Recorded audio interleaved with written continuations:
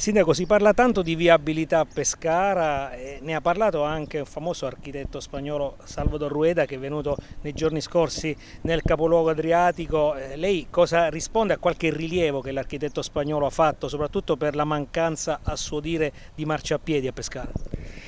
Credo che eh, la sintesi del discorso di Rueda sia perfettamente in linea con quello che noi da 27 anni stiamo facendo a Pescara perché lui ha parlato di eh, spazi mh, più ampi per i pedoni e a Pescara abbiamo realizzato due grandi isole pedonali che sono il centro storico e il centro cittadino e, quelle due isole sono state realizzate nel periodo in cui il centrodestra governava e quindi è stata fatta una scelta chiara di una città più vivibile. Eh, poi ha parlato di mezzi pubblici, noi abbiamo mezzi pubblici elettrici e stiamo cercando di realizzare una viabilità basata sui mezzi pubblici, quello che dice Rueda, perché il cittadino non deve muoversi con le macchine e a Pescara c'è un problema di mobilità legata al trasporto privato perché a Pescara entrano 122.000 macchine al giorno ma perché questo succede? Perché oggi non c'è un sistema di trasporto pubblico che garantisca il cittadino eh, per quanto riguarda i termini di percorrenza, i tempi di percorrenza e anche le frequenze. Invece con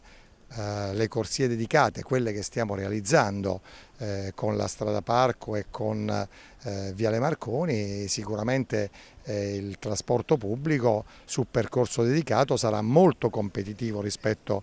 al trasporto privato e quindi potremo trasferire parte di, di, quelle tante persone che entrano a Pescara con il mezzo privato perché non hanno alternative sul mezzo pubblico. Eh, ci sono le corsie preferenziali, ci sono le due corsie per i mezzi privati, eh, eh, corsie che però in prospettiva possono anche essere eliminate nel momento in cui ci sarà un'altra viabilità, ma questo è un percorso lungo che deve fare la città, un percorso ragionato, non si può fare da, da un giorno all'altro, così come chi parla dell'inserimento dei sensi unici. Eh, poi parlare con me dei sensi unici, che sono quello che 27 anni fa ha fatto il senso unico sulla riviera e su Viale Bovio, quindi diciamo che eh, le tematiche le ho affrontate, eh, parlare di un senso unico su Viale Marconi vuol dire anche creare un'alternativa di senso unico su un'altra via, quindi sarebbe uno stravolgimento totale. Eh, credo che la cosa più logica, più equilibrata sia proprio quella che, che è stata realizzata.